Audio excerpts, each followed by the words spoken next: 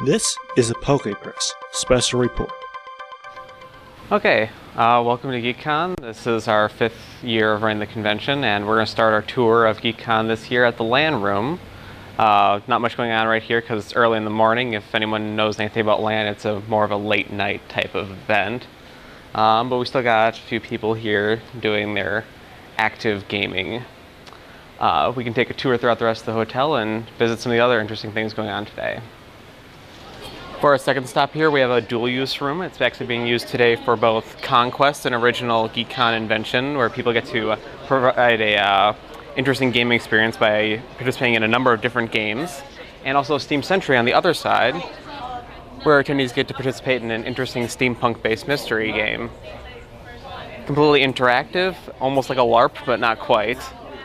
It's a lot of fun for everyone involved, and this year, unlike previous years where we've had it, it's completely free tomorrow both those events will be gone and instead we'll have the uh, tea time travel tea parties going on which is another event that we run uh, since last year and hopefully a couple of years in the future at least.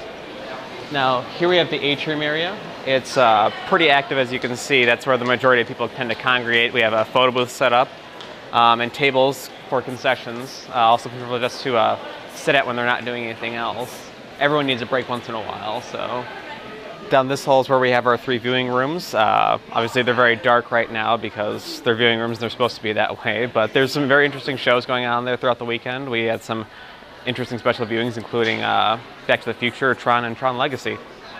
Here we have tabletop viewing, one of our uh, bigger, more popular room, gaming rooms.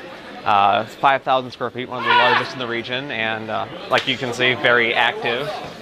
Uh, tons of games for people to play at all times, as you can see. Or nothing.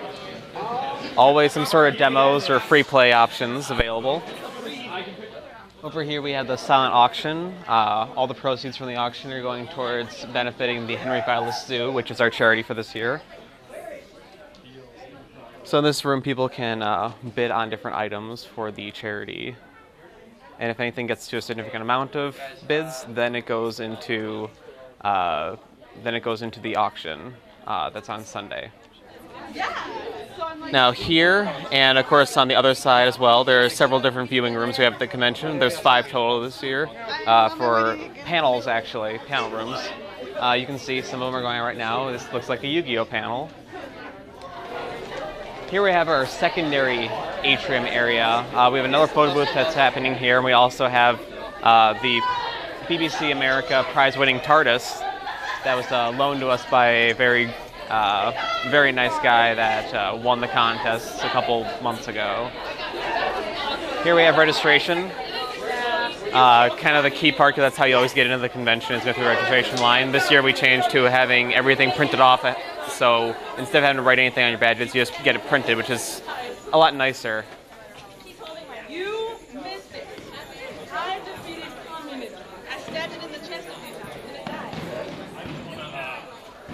And here's, of course, the Boffer room, if you couldn't tell.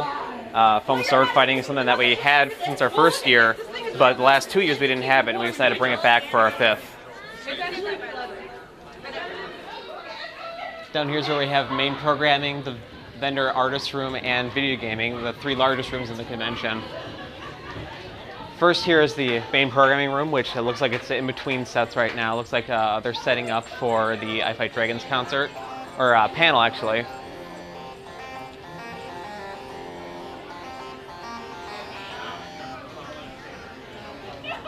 We also have Ambassador Alley here, so other conventions and groups that are around can uh, also promote themselves. And of course, here's the uh, artists and vendors area.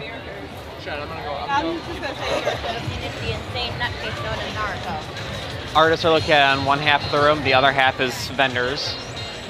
Obviously, there's a lot to choose from in this uh, room you can pretty much find any sort of geeky interest you can uh, for sale here. And now at the end here we have our final room, the video game room.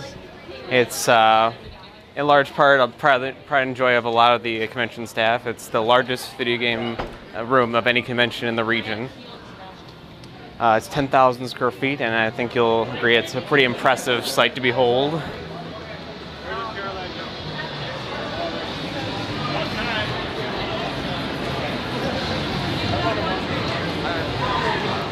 Yep, well, that's pretty much Geek.Kon in a nutshell. Uh, we think we don't went over pretty much everything that we have to offer here. Uh, obviously, this is just a snapshot, though. There's always different events going on at any given time. Uh, in a couple hours, we'll have the Masquerade, which is usually our biggest event of the weekend, where all the people that you saw probably in the hallways with all these great costumes will participate in, and actually compete with each other to uh, win prize.